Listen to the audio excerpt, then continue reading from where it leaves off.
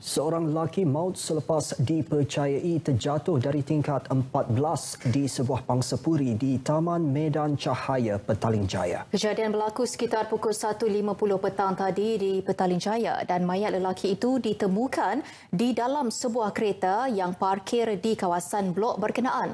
Mangsa yang berusia 32 tahun dikatakan terjatuh daripada blok berkenaan selepas dipercayai mengalami tekanan mental.